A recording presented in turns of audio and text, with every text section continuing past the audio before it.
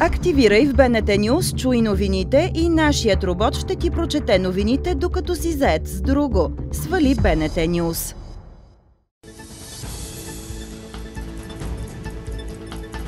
Изцяло нов формат за входните и изходните нива на учениците подготвят от Министерството на образованието. Какво ще включват изпитите и кога ще бъдат въведени промените? Реформи ще има и в яслите. По света и у нас започва.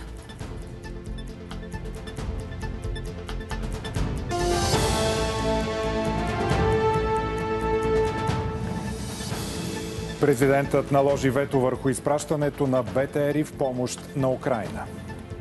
Аз очаквам това вето да бъде преодоляно много бързо. Управляващите партии с критики към президента от опозицията подкрепиха ветото. Първите българи блокирани четвърти ден на летището в Мюнхен се завърнаха у нас. Като си с бебе, как се стига от Мюнхен до Меминген? На минус 14. Ще бъдат ли обещетени? Две жестоки убийства в Северна Македония. Сред жертвите е 14-годишно момиче. Скопия твърди, че основният заподозрян се укрива в България. Делото срещу полицая прегазил 7-годишно дете на пешеходна пътека преди повече от две години в село Братаница. Започва от начало. Ние страдаме цял живот. Ние сме орисани за цял живот. Моля ви вече някакви права ни дайте, за да има възместие. Във Варна задържаха шофьор с рекордните 4,7 промила алкохол. 9 пъти повече от допустимата норма за шофиране у нас. Като видя резултата, започна да се държи агресивно, много провокативно, агресивно спрямо нас.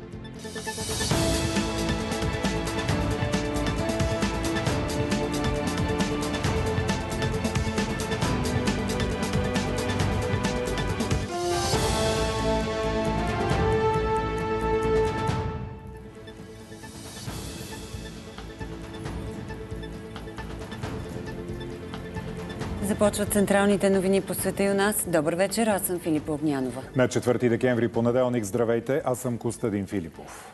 Президентът Румен Радев наложи вето върху предоставянето на бронирана транспортна техника от България за Украина. Новината идва след като на 22 ноември депутатите ратифицираха споразумението за изпращане на 100 български БТРи с отпаднала необходимост от МВР на Киев. Решението на държавния глава предизвика остра реакция на правителството и коментари от парламентарните партии. Николай Минков обобщава изказванията. Здравейте! Умерена реакция от страна на премьера Денков и вице-премьера Габриел, които изразиха пълна увереност, че в парламента има достатъчно силно евроатлантическо мнозинство, което да отхвърли ветото на Радев. Много по-остри бяха в позициите си партиите, които подкрепят кабинета в лицето на ГЕРБ, СДС, ДПС и ППДБ, които обвиниха Радев, че се държи като държавен глава не на държава членка на Европейския съюз и на НАТО. На другия полюс бяха от левицата и възраждани, които заявиха, че ще подкрепят ветото, така както са гласували и по време на обсъждането за отпускането на помощта за Украина. Тогава те не се съгласиха. Мълчане запазиха от има такъв народ. Вижте и подробностите. В мотивите държавният глава посочва, че взел решението воден от убеждението, че сигурността, здравето и живота на българските граждани трябва да бъдат първостепенен приоритет.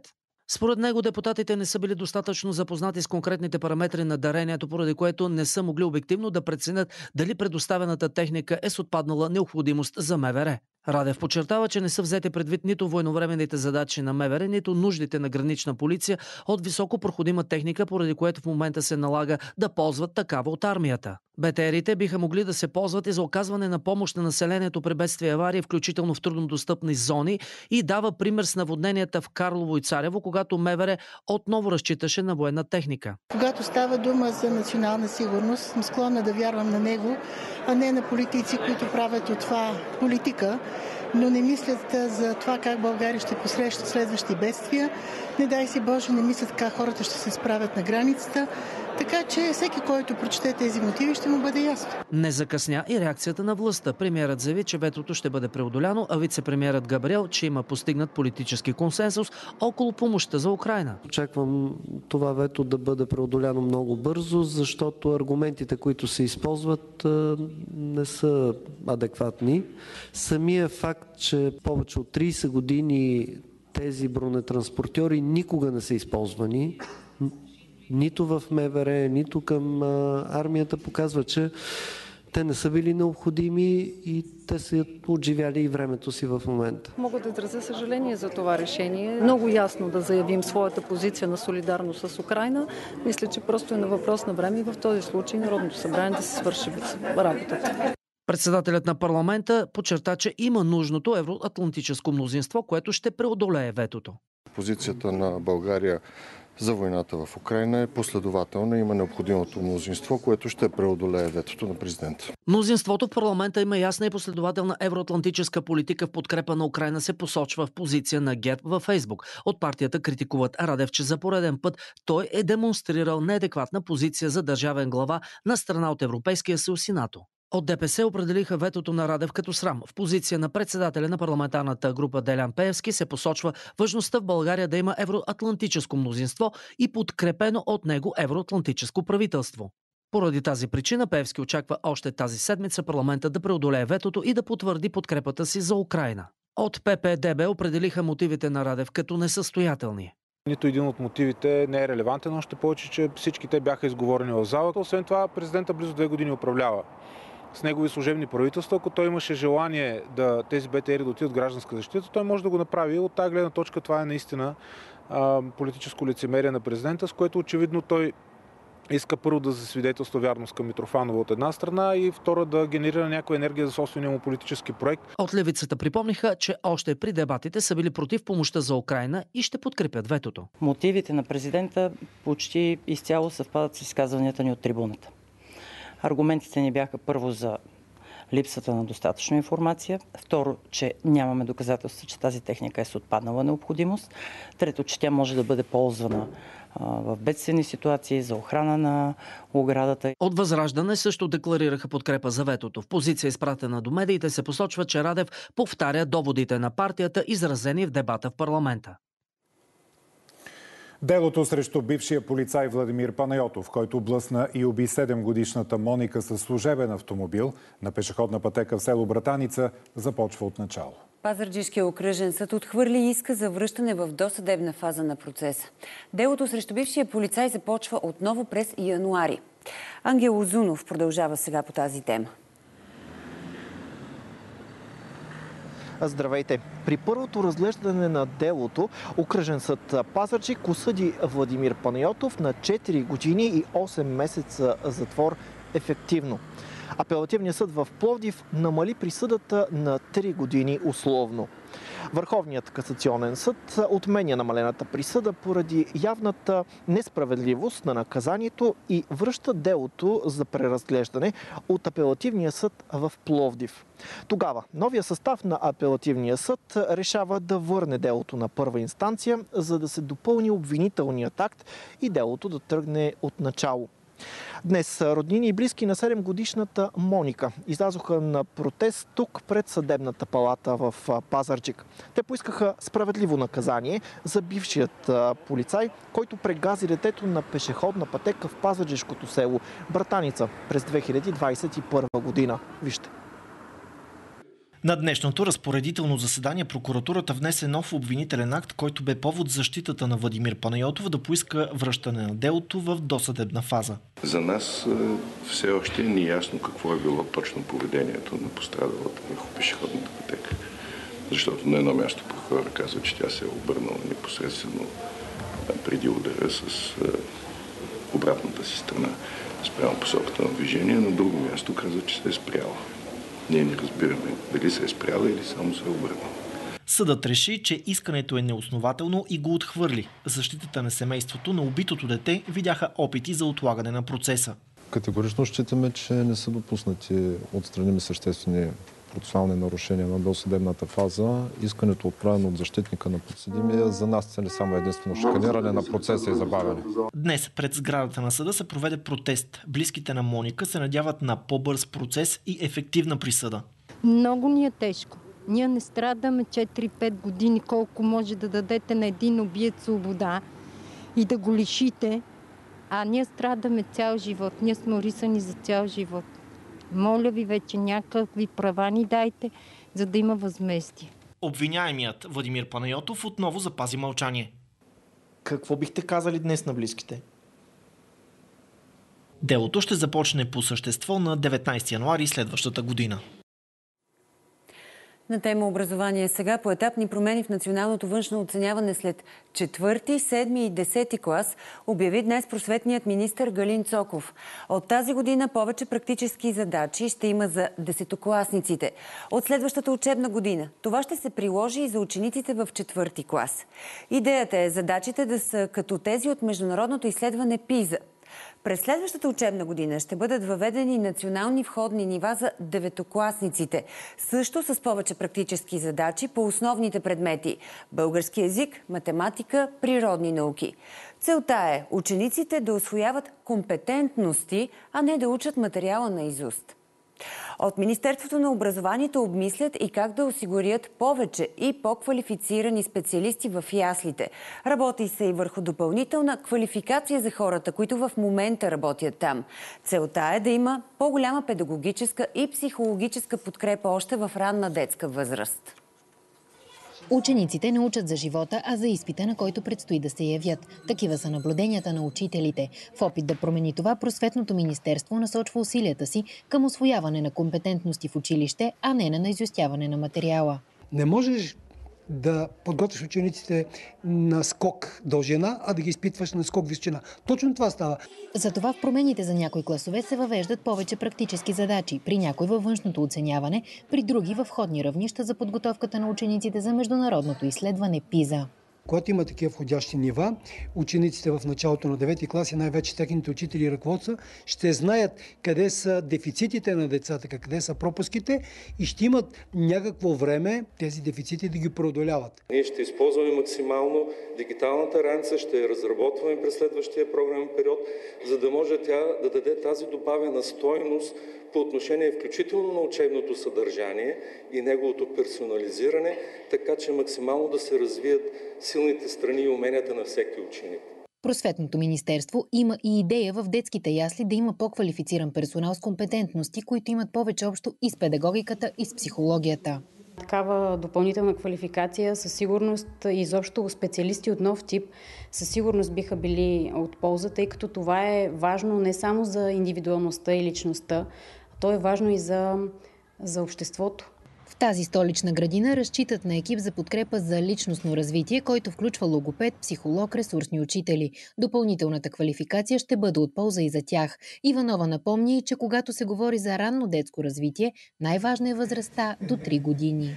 Тогава се развива е важно как ще бъде подходено към детето и как ще бъде подкрепено психологически и педагогически. И точно там, според мен, наистина имаме нужда от по-голямо обучение. И още от промените обявени днес. До дни трябва да бъде публикувана наредбата, която позволява започване на конкурсите за директори на училища и детски градини. Работи се и по промяна на закона за висшето образование, като се предвиждат тригодишни бакалавърски програми.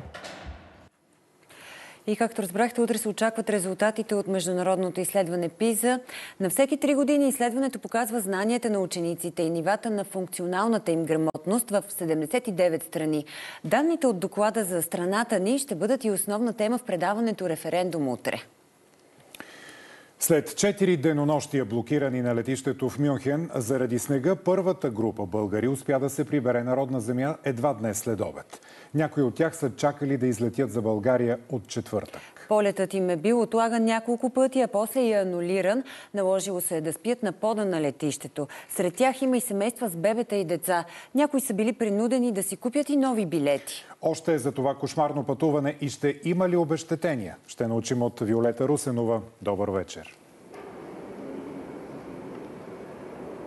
Добър вечер. След денонощия на напрежение и нерви, постепенно българските ни сънародници, които бяха блокирани на летището в, Мюнс, в Мюнхен, започнаха да се прибират у нас. Днес в късния следобед действително кацна първият самолет, последваха още два, но това, което виждаме в момента от таблата на летище София, където се намираме и ние, че има два полета, които са отменени и вероятно в Мюнхен ще останат още наши сънародници, които ще останат блокирани там. Иначе българите, с които разговаряхме, ни разказаха, че от Луфтханза не са им дали абсолютно никаква информация. Част от тях са превърнали летището в свой дом. От кадри, които българите ни изпратиха, се вижда, че те играят различни игри, за да оплътнят дългите часове на чакане. Действително се е наложило някои от българите да си купят допълнително билети и така на някой. Всъщност този престой им е излязъл с няколко стотин евро отгоре. Оказва се обаче, че те едва ли ще получат обещетение заради лошото време, което се води форс-мажорно обстоятелство, но хронологията предлагам да чуем сега.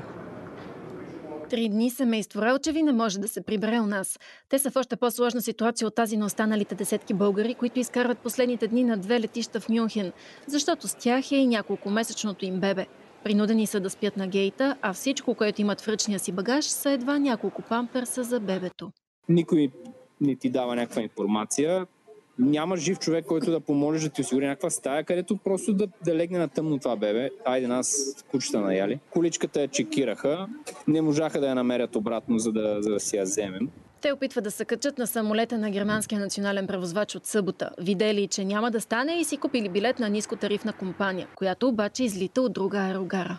Като си с бебе, как се стига от Мюнхен до Меминген? На минус 14. Там се запознават с Александър, който дали дългите часове на неизвестност и игра на нерви с тях и още много други. Около 150 българи най-вероятно от четвъртък след обед до настоящият момент ни търкалят на летище Мюнхен. Първо им казали, че самолетът им е замръзнал и са им изпратили друг, но и той не е потеглил. Днес обаче, след няколко денонощия, в следобедните часове в София кацна първият самолет с българи. Късметлиите слязоха ядосани. От четвъртък и петък същото. Значи колкото да чакаш, да чакаш и накрая се канцелира всичко, отиваш на петък. В петък същото, събота същото, в неделя същото. Днес кой ден сме вече не знам. Това вече не е Германия. Това е не знам какво е. Беше направо ужасно. Даже първата нощ не бяхме вътре, където е чекинга, бяхме и така в фуето, налягали на пода като животно. Българите са убедени, че организацията на летището в Мюнхен е била изключително лоша. Имам сериозни съмнения и това не е въпрос на някакво конспиративно виждане, че последните дни просто ни препродат билетите. Самолети кацаха и излитаха. Някои от българите получили ваучери за храна на летището за по 10 евро. Снежният капан обаче ми е излязал скъпо, не само заради чакането. Платил съм не по-малко от 500 евро допълнително. В политиката на Луфтханза пише, че възстановяват а, как, как се изразиха, разумно извършените разходи. Оказва се обаче, че обещетения само за закъсненията или отмяната на тези полети няма да бъдат получени. По лошите метеорологични условия се считат за извънредно обстоятелство и обещетения авиокомпаниите не дължат при такива ситуации. Тоест пътниците имат право да получат единствено възстановяване на разходите, които ще направят на летището или евентуално хотел. Реакция дойде и от правителството. Вице-премьерът посочи, че Българското външно министерство е реагирало на време. Там е бил и консулът. Целият ми екип е във връзка с тях. В момента и консула в Мюнхен е на място. Това, което сме говорили е с първия възможен полет да бъдат качени, за да се преберат в България. Юристите напомнят, че ако авиокомпанията откаже доброволно да изплати обещетения, хората могат да ги търсят и по съдебен път. В общия случай обаче това отнема средно два месеца. Само за месец и половина от КАТ са връчени санкции за 1 милион и 250 хиляди лева. Шофьорите са предупреждавани при влизане и излизане от страната ни за неплатени от тях глоби. Проверка на граничните ни пунктове показва, че в повечето случаи шофьорите плащат дължимите суми на място. Води ли връчването на неплатени актове за глоби на шофьорите до опашки по границите ни? Ето какво установиха екипите ни. Половин милион фиша за нарушения не са стигнали до получателите си през миналата година. За това предупреди през уикенда премиерът Николай Денков и съобщи, че са дадени указания за справки за невръчени електронни фишове на влизащите и излизащите от страната български граждани. Шофьорите приеха това като рутинна мярка. Така е почти във всички страни. Ако влезеш и не си изряден, не можеш да излезеш както трябва или си плащаш глобите. Още на границата. Аз съм за. Нека да има събираемост. А, в една Турция, преди миналата година бях, За превишение от 10 км в час не съм забелязал въобще. И на границата моментално ми казаха или плащате, или не може да преминете. Не съм шофьор, но и моето мнение е такова, че трябва да се плащат глобите и то от всички, не само от българи и, и чуждите граждани, които преминават от тук. Проверката ни днес на граничните пунктове с Гърция и Сърбия показа, че справките за неплатени актове за глоби за момента не водят до големи опашки. А много от шофьорите преди да тръгнат на път бяха проверили дали имат неплатени глоби. Преди да тръгна, ако имам съмнение, че съм сниман с камера и нямам връчен акт за превишена скорост, проверявам онлайн и ако случайно се окаже, че имам, предварително си плащам и тогава тръгвам да излизам извън България. На граничните пунктове в страната се предоставя възможност на неизрядните шофьори да платят глобите си тук на място в зоната на самия граничен пункт. Но това не е задължително. Това е пожелание на шофьорите. Въпреки това, проверката показа, че все повече шофьори предпочитат да плащат глобите си на границата, използвайки посттерминал. През почивните и празничните дни няма да се връчват наказателни постановления на границата, за да не се затруднява движението. Така процедират и в момента на граничния пункт Дунав мост при Русе. Тук има място, където шофьорите могат да получат информация за неплатени глоби. Заради засиления трафик обаче през последния месец, а и с наближаването на коледа и нова година, граничните власти в Русе за сега не уведомяват шофьорите за задълженията им към държавата.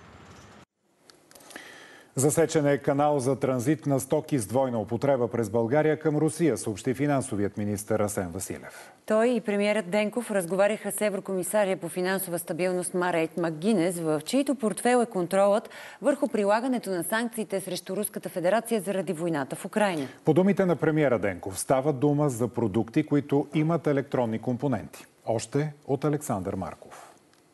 Канала за внос и износ на продукти с двойна употреба през България към Русия минава през българо-турската граница, обясни финансовия министър Асен Василев. И оттам към Армения, Азербайджан и други държави, като крайна дестинация, оттам нататък е ясно, че има прекупуване и а, пренос към Русия.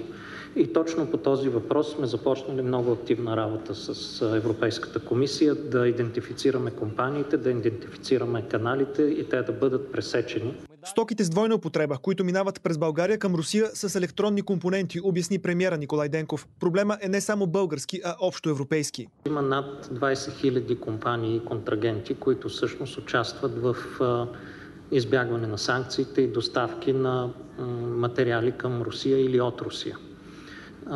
И обсъдихме за това как нашите два отбора много по-активно да работят по въпроса за това това да бъде пресечено, тъй като проблема навсякъде в Европа, не само в България, е, че обикновено тези компании работят с изрядни митнически документи. 100% проверка на камионите, промени в закона, проследяване на моделите на транзит на такива стоки са някои от мерките, които България ще приложи съвместно с Европейската комисия. Стоките с двойна употреба са сред акцентите и в 12-я пакет санкции на Европейския съюз срещу Русия, който се обсъжда.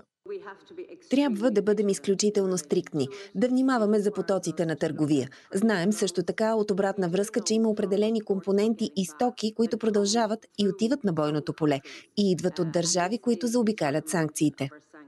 По отношение твърденията, изнесени в доклад на няколко организации, че Лукойл Нефтохим също заобикаля санкциите, премиера коментира. Когато излезе въпросния доклад и след това и статиите, които го обсъждаха, всъщност в него няма доказателства.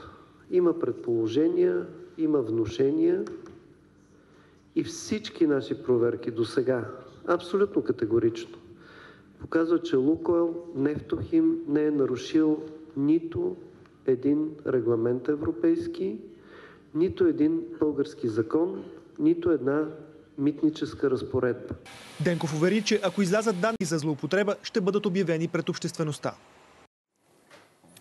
Приемането на България и Румъния в Шенген ще се обсъжда на срещата на вътрешните министри от Европейския съюз утре в Брюксел, но гласуване няма да има, стана ясно от дневния ред на заседанието. Нидерландия и Австрия все още не са представили окончателните си позиции. Затова гласуването по въпроса дали да бъдат прияти България и Румъния в Шенген се очаква да бъде по-късно през декември. Какви са шансовете на страната ни да влезе в Шенген и какви са процедурите в Брюксел? От кореспондента ни Десислава Апостолова. Утре е последната за тази година редовна среща на министрите на вътрешните работи, но това не е последната възможност да се вземе решение за приемането на България и Румъния в Шенген. Все още няма окончателни позиции на Нидерландия и Австрия, затова утре министрите ще направят преглед на актуалната ситуация в шенгенското пространство, но гласуването ще бъде по-нататък през декември. Испания, която в момента председателства съвета на Европейския съюз, смята, че е близо до осигуряването на необходимото единодушие за приемането на България и Румъния в Шенген и е готова с два варианта – или да организира извънредна среща на вътрешните министри, или да постави въпроса на гласуване чрез така наречената писмена процедура, когато министрите не трябва да присъстват физически в Брюксел – Мадрид силно се надява София и Букурещ да влязат в Шенген до края на годината. Обсъжда се и вариант за поетапно премахване на граничните проверки.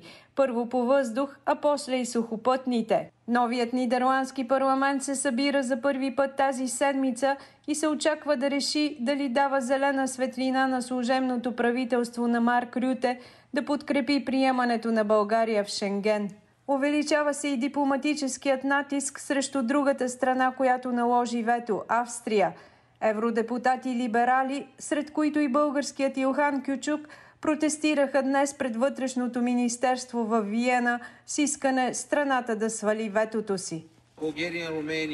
България и Румъния са изпълнили всички критерии още от 2011 година и ние заслужаваме да сме част от Шенген по простата причина, че оправдахме очакванията на европейците и изпълнихме всички изисквания на Европейската комисия, на Европейския парламент и на останалите страни членки. За това не заслужаваме вето от страна на Австрия. Тук сме, защото Румъния и България имат право да са част от Шенген. Изпълнили сме всички технически критерии. Австрийската економика ще бъде по-силна с България и Румъния в шенгенското пространство. Утре вътрешните министри ще обсъдят и цялостното състояние на Шенген, след като някои държави въведоха проверки по границите си заради засиления мигрантски натиск. Израелските войници вече действат във всички части на ивицата Газа. Израелската армия нареди нова евакуация в пренаселената южна част на ивицата, но по-късно предупреди за да не се използва ключовия път Салах Алдин в частта му край Хан Юнис, тъй като е бойно поле. Вече няма безопасно място в Газа, казват местните жители. Още за сухопътната офанзива в района от Ива Стойкова. Десетки израелски танкове, превозни средства с войници и булдозери са навлезли в южната част на ивицата Газа, достигайки до Хан Юнис, твърдят очевидци пред Франс Прес. Израел продължава да разширява наземната си операция. Израелската армия провежда операции във всички части на ивицата Газа, където има центрове на Хамас. Сухопътните операции на север са близо до приключване и се разгръщат на юг. В Северна Газа разбихме бригади на Хамас, елиминирахме командири. Започнахме същия процес на юг с не по-малка сила. Навсякъде водачите на Хамас ще се сблъскат с муща на израелската армия. От началото на сухопътната операция на 27 октомври израелските сили са открили 800 шахти, водещи към огромната мрежа от подземни тунели и бункери на палестинската групировка и твърдят, че са унищожили повече от половината. Тази сутрин израелските сили издадоха нови заповеди за евакуация от 20 района в Анклава, подновявайки и въздушните удари. Според местни жители вече няма безопасно място. Никъде не е сигурно, нито в Рафа, нито в Хан Юнис или Газа или в Дейр Албалах. Казват ни, че някъде е безопасно и ни позволяват да се евакуираме, а после пускат бомби над гъсто населени места. Голяма част от жителите се струпаха в южната част на ивицата, след като Израел нареди още в първите дни на войната цивилните да напуснат северните части. Стана ясно, че твърденията на окупатора за безопасни зони на юг и постоянните призиви за евакуация там са капан – за да бъдат извършени повече убийства. При откриването на срещата на министри от Организацията за ислямско сътрудничество в Истанбул, турският президент Ердоган заяви, че израелският премьер ще бъде съден като вън престъпник. Нетаняхо, който е касапинът на Газа, освен че е военнопрестъпник, със сигурност ще бъде съден както Милошевич. Бих искал още веднъж да ви припомня, че Газа е палестинска територия. Газа принадлежи на палестинците и ще остане такава за винаги. И докато войната е на път да навлезе в третия си месец, все повече са неизвестните какво ще се случи след като бомбите спрат. Кой ще управлява ивицата Газа? А какво се случва на фронта в Украина? Страната променя тактиката си във войната с Русия, като в някои райони преминава в отбрана, в други продължава офанзивата, заяви съветник на президента Зеленски. Украински дронове са атакували нефтена база в Луганск, съобщават руските окупационни власти. През изминалото денонощие украинската противовъздушна отбрана е свалила 18 от 23 изстреляни руски дронове и една балистична ракета. Руските сили активизират настъплението си при Авдеевка, като атакуват от нови две посоки в опит да обкръжат града, съобщават местните украински власти. Авдеевка стана основна гореща точка на фронта след лятната контраофанзива на Украина. В града все още са останали около 1300 цивилни, посочва кметът Виталий Барабах. По данни на базирания в Съединените щати Институт за изследване на войната, през последните дни руските сили при Авдеевка са постигнали реален напредък. За частични успехи на руската армия в района съобщават и други източници. Украинската армия твърди, че отблъсква атаките и причинява тежки загуби на противника. По оценки на британското разузнаване, от началото на войната Русия е дала 300 000 убити и ранени военнослужащи. Заместник командирът на руския 14-ти армейски корпус генерал Владимир Завадски е загинал в Украина, съобщи губернаторът на руската Воронежка област в Телеграм. От началото на войната в зоната на бойните действия Русия е загубила 12 висши офицери, посочва Reuters. Според военни анализатори тези загуби са резултат от прихванати незащитени комуникации на руската армия, но случаите стават все по-редки. Украински прокурор събира доказателства за дело срещу Русия за причиняване на екологична катастрофа при взривяването на язовира Каховка. Проби от почвата в наводените райони събира десетки следователи. Доказателствата ще бъдат представени пред Международното правосъдие в Хага. Не, не е доказан факт, че Русия е взривила язовир Каховка. Нашата група разследва екоцит, друга група следователи и прокурори събират доказателства за взривяването на стената. Това са две отделни линии на разследване. Междувременно Белия дом предупреди Конгреса, че средствата за доставки на оръжие и оборудване на Украина са на привършване и призова към действия. Залогът е извънредна помощ от 106 милиарда долара, поискани от президента Байден на 20 октомври. Конгресът още не е одобрил окончателно бюджета за финансовата година, което поставя под риск искането на държавния глава. Брутални убийства на 14-годишно момиче и 74-годишен мъж шокираха Република Северна Македония. Ваня Горчевска е била в неизвестност от 27 ноември и вчера е открита мъртва край Велес. За подозрените са петима, трима от тях са арестувани. Властите в Скопия смятат, че четвърти заподозрян, който вероятно е бил лидер на престъпната група, е избягал в България. Тоня Димитрова с още подробности за това как името на страната ни беше замесено в двойната трагедия. Сцената на местопрестъплението край село Бразда, недалеч от град Велес. Всичко започва на 24 ноември. 74-годишният браснар от Велес Панча Жежовски е отвлечен и убит за дълг от 500 евро към един от извършителите на престъпленията.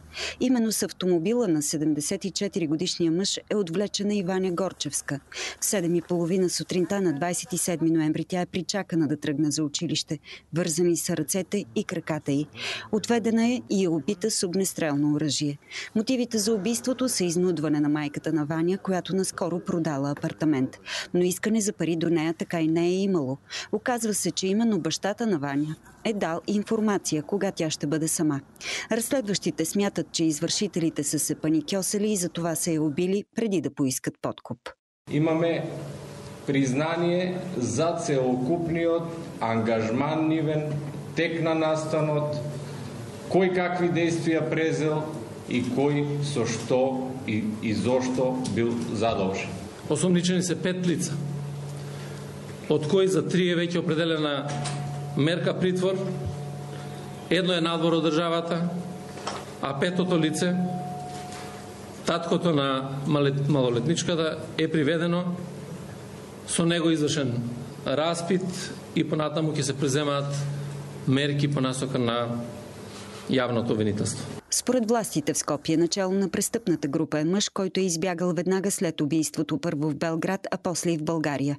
Официално името му не е оповестено от местните власти, известни са само инициали. Но всички македонски медии го идентифицират като Любчо Палевски Палчо. Строителен магнат, бивш председател на градската организация на Социал-демократическия съюз на Македония в Скопие, собственик на медия, автор на подкаст и основател на партия Десна. От Министерството на вътрешните работи в Скопие съобщават, че са уведомили властите и в Сърбия, и в България за бягството на основния заподозрян. У нас полицията във Варна задържа 38 годишен шофьор, седнал зад вулана с рекордните 4,7 промила алкохол. Рекордните показания са отчетени с Дрегер. След това на водача е взета и кръвна проба. От полицията заявиха, че задържаният не за първи път шофира пиян. В 2 часа след полунощ почерпеният шофьор е видян да кара много бавно на едно от основните кръстовища в квартал Владислав Варненчик. Спряне за проверка от автопатрул на полицията. При разминаване с самия автомобил, същия, забелязахме, че самите му стъкла предните са току-що избърсани и абсолютно всичко беше във влага вътре. Пияният шофьор е управлявал бавно своя автомобил по улица Асен Разцветников, след което се е опитал да направи ляв завой, за да се включи по булевард Света Елена, но е отнел предимството на таксиметров автомобил. Шофьорът си признал, че е спил само литър вино. Дрегерът обаче показал 4,7 промила. Като видя резултата, започна да се държи агресивно, много провокативно, агресивно спрямо нас, като започна, че не сме можели да си вършим работата, започна да вари телефони да не снима. Пияният шофьор е задържан, а управляваният от него автомобил конфискуван. Взета му е кръвна проба, като резултатът ще бъде ясен до дни. За шофиране в нетрезво състояние законът предвижда от една до 3 години лишаване от свобода и глоба от 200 до 1000 лева. Варненската окръжна прокуратура внесе в съда обвинителен акт срещу бившия кмет на Варна Иван Портних и още двама души за замърсяването на Варненското езеро. То беше причинено от спукана тръба за отпадни води, която минава по дъното му. Портник ще отговаря за това, че е допуснал замърсяване на морските води, което е довело до вреди за околната среда. За това престъпление законът предвижда от 2 до 8 години лишаване от свобода и глоба от 10 000 до 50 000 лева. В писмо до медиите Портник заяви, че все още не е получил обвинителния акт, но ще съдейства на правосъдието. Допълни, че не е писал проекта, не е избирал фирмата изпълнител, не е строил тръбопровода, нито го е въвеждал в експлоатация. Ремонтът на пречиствателната станция на язовир Ясна поляна, който захранва с вода повечето курорти по Южното Черноморие, няма да бъде завършен и за следващия сезон. Това лято няколко пъти имаше прекъсване на водоподаването, а местните хора и бизнеса са притеснени, че ситуацията ще се повтори и до година. Жителите на Приморско, които се водоснабдяват от компрометираната пречиствателна станция, сякаш вече са свикнали с проблема. Аз имам кана вкъщи, слагам си каната, пускам си. Това, е. Това, че се прави толкова време, не е добре, ама какво става бързо тук в нашата държава? През зимата проблем с водата в Приморско няма, но през лятото, когато населението се увеличи няколко пъти, пречиствателната станция не може да издържи на натоварването. Може да имаме прекрасни плажове, може да сме подготвили градовете и селата си по най-добрия начин, но без чиста питейна вода сме обречени на тотален провал. Като потребители, защо сме длъжни да плащаме 100% от цената на един продукт, който в крайна сметка не, не отговаря на стандартите. От общината в Приморско казват, че забавянето на проекта за ремонт се дължи на областния управител. Той пък от своя страна казва, че виновни са предшествениците му, които късно са обявили обществената поръчка. Беше пределно ясно, че тази реконструкция не само, че няма да приключи до края на 2023, няма да приключи до началото на следващия летен сезон. Е имало пропуснати още при самото задание за проектиране определени етапи. Не може да се каже категорично, че водата ще бъде такава, каквато отговаря на стандартите. От ВИК обещават това лято да няма прекъсване на водата, въпреки ремонта. Има изграден на този етап байпас при кризисна ситуация, който в момента не работи. При нужда имаме готовност да изградим втори такъв. Общо 20 милиона лева ще струва реконструкцията. За сега сроковете са до края на следващата година. Напрежение в Сунгоруарското село Завет, където местните не допускат новия кметски наместник да стъпи в длъжност. Назначението се налага, защото в селото живеят само 66 души и управникът се назначава от кмета на общината. Хората там обаче не са съгласни с избора и направиха жива верига пред входа на кметството. Гражданско неподчинение до край и това е. Сградата на кметството в село Завет край Сунгоруаре осъмна с блокада.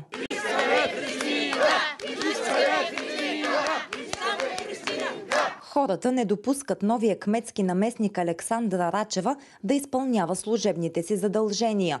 Те настояват да се върне бившата Христина Косева, която е полагала грижи за тях над 30 години. Тази нова кметица нито напознава, нито знае Да, болките на хората. Тук се движат само влакови, автобуси няма до тук. Тя, някой да се разболее и винаги е тя насреща. Онкоболна съм. И а, с още други заболявания и още един мъж, който не може да върви. И тя всъщност не носи лекарствата на нас. Особено аз, най-възрастната, съм толкова доволна от нея. Това е човек незаменим. Жителите на село Завет са категорични, че всеки ден ще бъдат пред кметството, като няма да допуснат да влезе вътре друг кметски наместник. Така, сградата на кметството днес остана празна и заключена. В защита на стария кметски наместник всички 66 жители от село Завет са входирали подписка до община Сунгурларе, а оттам отговориха. Издадена е моя заповед за назначаването на новия кметски наместник. Това е в правомощията ми. Нещо, което също така не е маловажно. Трябва да бъде мобилен, трябва да бъде със свидетелство за правоспособност, защото селото се намира на доста отдалечено от общинския център и се налага нали, да се пътува, да се отчитат документи. Компромиса, който направи на, за мен да, да остана на работа в кметство Завет, е да бъда със същото заплащане и на 8 часа работен ден като секретар. До преди 6-7 години а, имахме секретар на 4 часа. След това а, пенсионираха жената и закриха бройката. Как изведнъж спускат бройка, тя да стане а, секретар? Категорични сме, че не ще върнат кметски наместник. Категорични сме. Новоназначеният кметски наместник отказа да застане пред камерата ни заради влушено здравословно състояние. Наказват мъжа, който остана без мобилен телефон след опит да снима отблизо мечки в зоопарка в Стара Загора. Каква ще е санкцията обаче за момента не е ясно. Случаят с мечето Тишо се размина без пострадали хора и животни. През а, май тази година отново в Старозагорския зоопарк Пони ухапа бременна жена. А в София маймуна и сурикат са починали след като са яли неподходяща храна, подхвърлена от посетители. Тишо, Мишо и Тошо живеят заедно в Старозагорския зоопарк и още не са заспали зимен сън. В събота след обед мъж опитал да се снима с мечетата отблизо. Не съм очаквала, че някой ще прескочи оградата и ще вкара телефона си вътре при мечките с идеята да ги снима. Най-любопитното мече Тишо отмъква телефона на посетителя и бързо споделя плячката с Тошо и Мишо. Екип от зоопарка се опитва да измъкне от мечите лапи останките от телефона. След като взехме телефона, установихме, че доста от частите ги няма, като задния капак и калъфа, който всъщност нали, едното мече успя да погълне. Нарушайки правилата в зоопарка, това крие риск и за самия посетител, тъй като можеше да се стигне до много сериозен инцидент. А в София, заради многото посетители, които не спазват правилата, доближават се до животните и ги хранят, клетките на маймуните са преградени с стъкла. Пред местата, където живеят някои мечки, са издигнати по-сериозни заграждения. Целта им е не да пречат на посетителите, а да пазят животните. Не трябва да бъдат хранени, не трябва да бъдат безпокоени, не трябва да се ръчкат с пръчки или по някакъв друг начин. Всяка солета, бомбон или картоф, които не са в менюто на животните, могат да им костват много страдания и дори смърт. А санкции за хората, които нарушават правилата в зоопарка, оказва се няма. Можем да установим нарушението, обаче докато стигнем до човека или хората за санкциониране, те вече са отминали или пък трябва да извикаме полиция. Затова в зоопарка се надяват посетителите да спазват правилата. Ако имат желание да нахранят животните, могат да дарят храна след консултация с екип на зоологическата градина. За финал новина за нашите пари. Биткоинът продължава да поскъпва и в днешната сутрешна търговия премина границата от 40 000 долара. Възходът му се дължи на множество фактори, но основните са свързани с нагласата на световните пазари. Те реагираха положително на заявление на Федералния резерв, което предполага по-мека монетарна политика и възможност за намаляване на лихвените проценти в бъдеще. Така се разделяме. Следват прогнозата за времето с Ева Кекерезова и спортните новини с Илияна Енев. Приятна вечер. Споделяме важното и на БНТ Ньюс БГ. Довиждане.